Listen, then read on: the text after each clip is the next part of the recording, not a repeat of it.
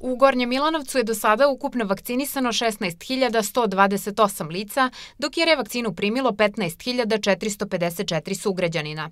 Najviše Milanovčana opredelilo se za vakcinu kineskog proizvođača Sinopharm, njih 10.117. Svi koji žele da se imunizuju od danas se ponovo javljaju na vakcinalni punkt u Domu kulture. Jedini pravi način da, da izađemo iz nekih teskoba u koje nas je ova epidemija stavila i da možemo normalno da radimo, funkcionišemo i da se družimo u nekom periodu pred nama. Tako da još jednom pozivam sugrađane da se odazovu na ove pozive za vakcinaciju i da dođu na vakcinalni punkt ovde u Domu kulture.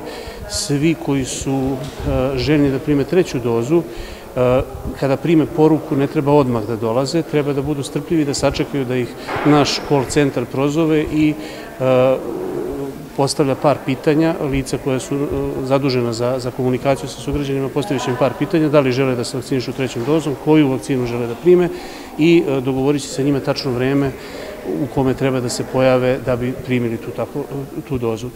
Trećom dozom je vakcinisano 112 lica sa teritorije Gornjomilanovačke opštine. Recite nam zbog čega ste se odlučili da primite treću dozu? Pa zbog svake sigurnosti, bezbednosti nas i dece. Opredelio sam se zato što apeluju svi, jer prvu dozu sam primio na početku, prvu pa drugu, pa sa treću dozu. Da postoji neki konkretan razlog zašto se odlučio, nema. Jednostavno smatram da je potrebno, da je tako struka rekla, I onda nema apsolutno i kaže, vakcina je civilizacijsko dostignuće. Što da ne, što da se ne zaštitim ako već mogu. Tako da smatram to najnormalniji za sve, ne samo za mene, nego za sve. Da, nikakvih problema nije bilo, a već kad sam se odlučila za jedno, onda i za sve tri to.